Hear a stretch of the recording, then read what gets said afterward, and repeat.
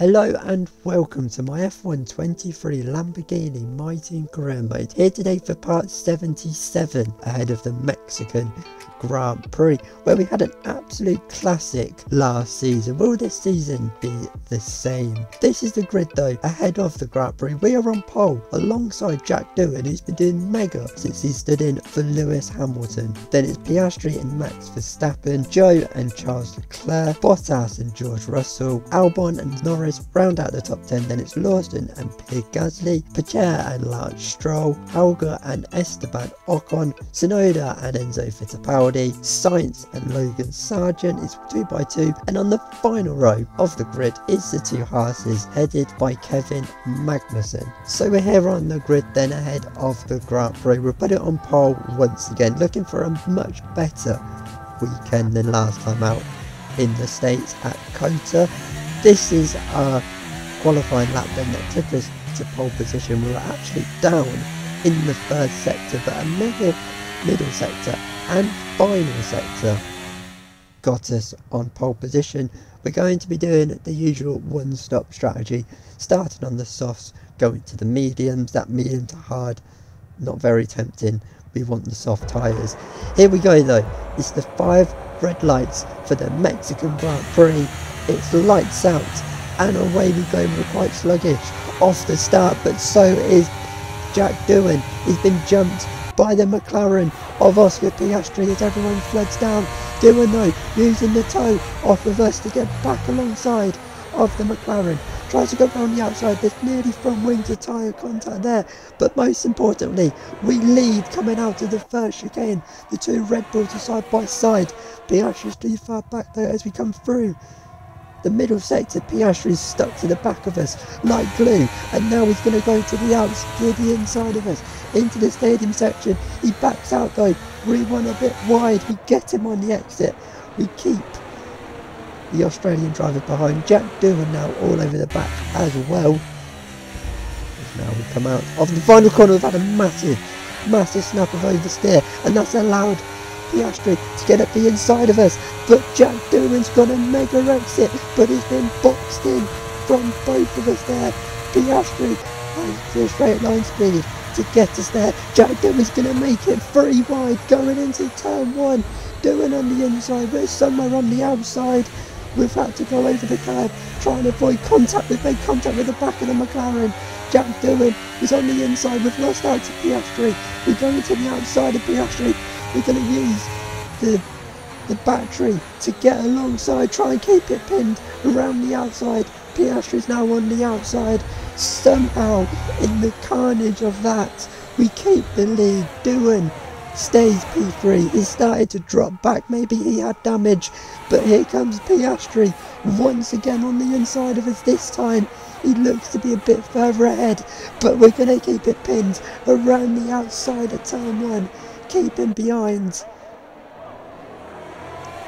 And hopefully we can relax for a couple of corners but Piastri is still on us now. He's to the inside of us into turn four. We're trying to hold it round the outside but Piastri has us covered. We try and go back round the outside at the next corner do the switch back. We're all over the back of him but Piastri has put us to bed and got past us now and it's going to be hard to re-overtake the McLaren I think that McLaren looks very very quick and that's exactly what happened. Lap 6 now, Piastri got away and we fell back into the clutches of Jack Doohan. He's on the outside, he has got us as well. We're going to go back to the inside of him though, and that's allowed Max Verstappen to have a go around the outside. Verstappen gets the job done on Jack Doohan. Jack Doohan though has the exit, nearly gets back ahead. Albon in the background is looking for a way through. So is Valtteri Bottas Doohan on the inside. Max round the outside. They're side by side. Doohan. keeps the Red Bull behind. Soaks up the pressure. And he's also back on us now as we head on lap 8 down the pit straight. He's past us now. We're going to use his slipstream to get back at him. But look at Verstappen. He's thinking about it around the outside. He's nearly made contact. He has made contact with us as we go very deep into the first corner. Doohan has taken P2. Now it's all about the exit over turn 3. as we head down towards turn four. We're all over the back of Doohan. We're alongside Doohan. We're going to try and go to the outside. Doohan has us covered. We keep it pinned round the outside. Now off the inside line. Now it's a traction race off the turn five into turn six. Doohan on the outside. We're on the inside. Piastri has bolted. And Jack Doohan has got us eventually. We put up a brave fight as this is Albon going at Valtteri Bottas in the Red Bull. Has he got the job done? Yes, he has. Great move by Albon. We're coming under pressure now from Max Verstappen. He's got past us now. Doohan started to pull away. We haven't really got the race pace here today. Max has got the job done on us though. As now we're going to try get a good exit off of turn three. And it does look like we've got that. We're all over the back of the Red Bull.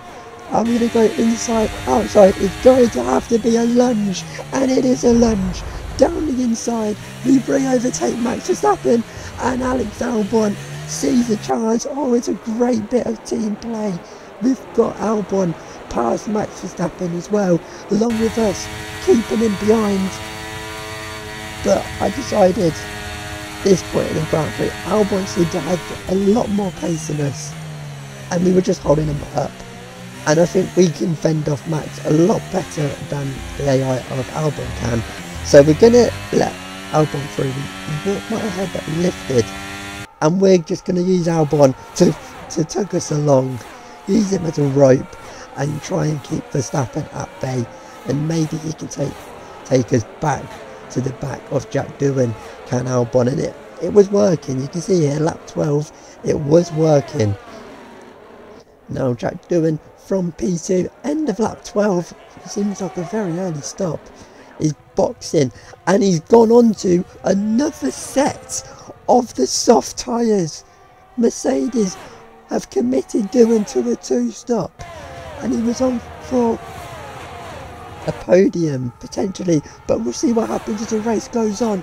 We're now being challenged by Max Verstappen. We were trying not to overtake Alex but the DRS is quite powerful around here. But as we need to get overtaken by Verstappen, and Verstappen's coming under pressure now from Bottas. Does Bottas get his teammate? He has. They're both side by side, but Bottas is through. The end of lap 15 now.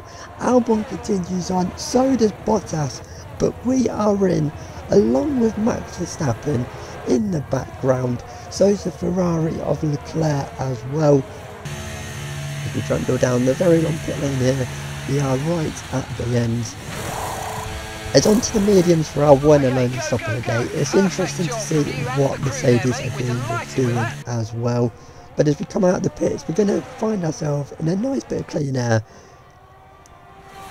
There's a Haas just up the road of De who's just gone for our picture. And we're going to have to do that overtake very quickly it's coming out of the stadium section, whatever you want to call that.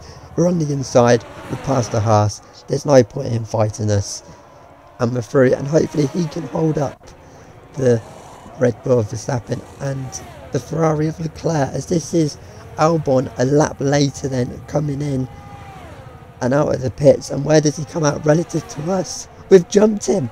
We've jumped Albon after we were letting him tug us along. We've jumped him, we've undercut him. And I don't think he's going to be very happy with that as the Haas is overtaken of Vries by Verstappen and Leclerc. Leclerc fancying his chances getting past Verstappen as well.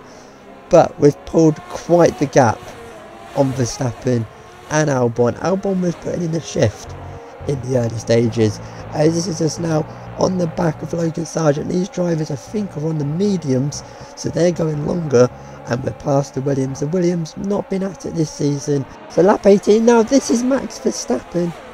Max Verstappen is slowing down as this is Albon overtaking Logan Sargeant to get on the back of us. He has actually caught us up a little bit. The gap around two and a half seconds, but Verstappen, after piling pressure on us in the early stages, now finds himself out of the Grand Prix. That's helped us in terms of the championship, but now that is two DNFs in the last three races for the Dutchman. And now this stage of the race, lap 22, we couldn't catch Doohan. We were slowly catching him though, because he, as he boxes for his second stop of the day, we got the gap down by three seconds. It was staying around seven. We got it down to four, and Doohan now, after being certain for a nailed-on podium at least, now comes out just in front of his teammate in P11. Both Mercedes out of the points as they go wheel to wheel into turn one and George Russell gets ahead of his teammate and with us P now P2 and P3 this could be a great overhaul in the constructors as this is Dennis Hauger pulling off to retire it's another Red Bull engine Honda engine that has popped in this race that's two now Verstappen and Hauger as our race was really lonely we couldn't catch Piastri. We weren't being caught by Albon as onto the final lap. See there we had a bit of a moment and on the final lap we had a DRS issue. We weren't caught though by Albon a bit. We've actually just lapped the car but Albon you can see there is about four and a half seconds behind but Oscar Piastri around 10 seconds up the road from us 7 seconds is going to round the final corner to win the Mexico Grand Prix, we are going to come home for a very good P2 and Albon is going to get the final place on the podium. It was a tough race at times, but they've held on to take a great victory for McLaren today.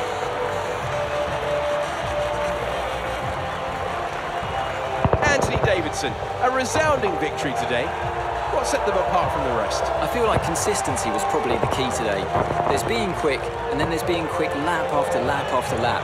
If you can do that, you can capitalise on other people's errors without making many of your own. And that's an approach that can push you a long way up the field. Our drivers are making their way out for the podium celebrations, and it's going to be McLaren picking up the winner's trophy. Congratulations to the entire team for that fantastic performance.